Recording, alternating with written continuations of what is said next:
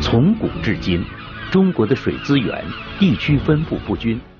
人均水资源量约为两千一百立方米，仅有世界人均水平的四分之一，是全球十三个人均水资源最贫乏的国家之一。水是关乎中华文明绵延发展的重要保障。中国自古就是治水调水大国，邗沟引江入淮，都江堰引民入川，一个个水利工程拉开了中国人引水调水的序幕。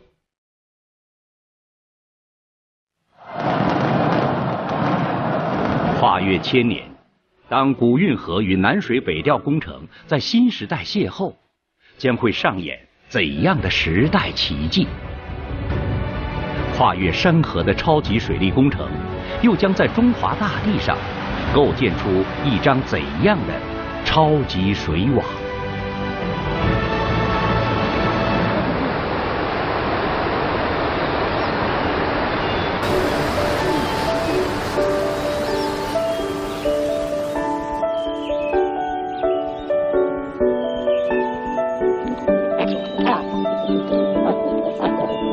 京杭大运河，历史上曾是中国沟通南北的大动脉，在漕运、南北文化交流、经济社会发展等方面发挥着重要作用。近代以来，因铁路运输和海运的发展，漕运逐渐停止，加之一些河段淤塞，运河北段经历了一百六十余年的断水断航。今天，水润泽了干涸的河道，沉寂了百年的京杭大运河再次全线贯通。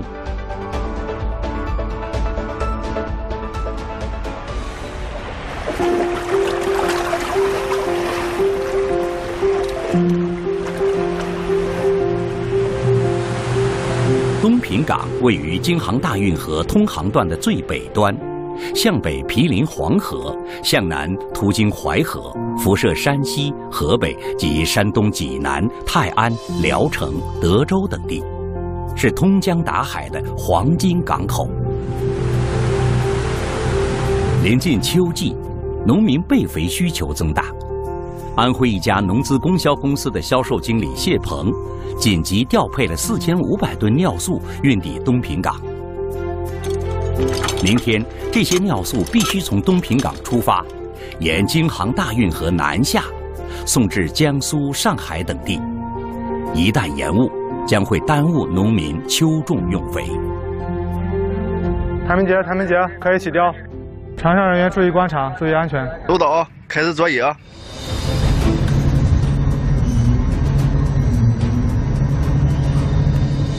曾因运河缺水断航，自小生活在运河边的李渊博离开了故乡。如今，因通水续航，他也回到了阔别已久的东平港。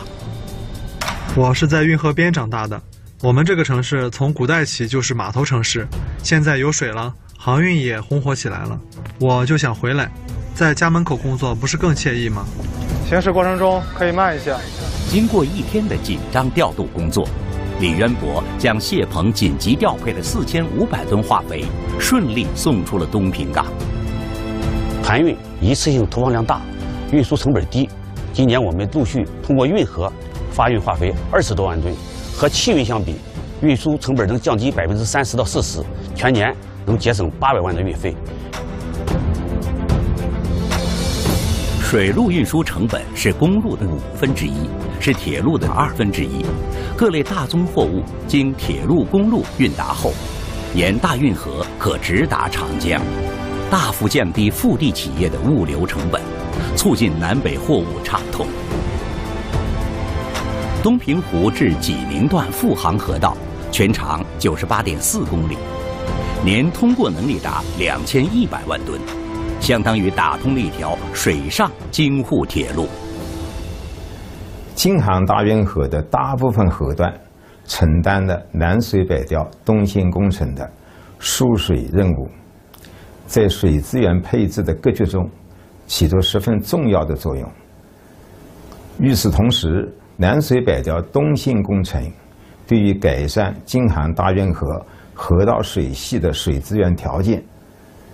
恢复古运河的生机活力提供了有力的支撑。这对于形成全国的统一大市场、畅通经济内循环、促进南北方的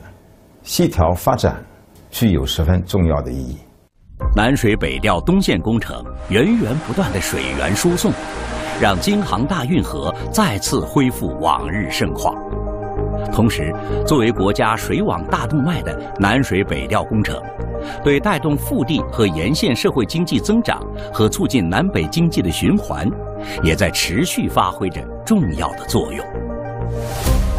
南水北调东中线一期工程干线总长度达两千八百九十九公里。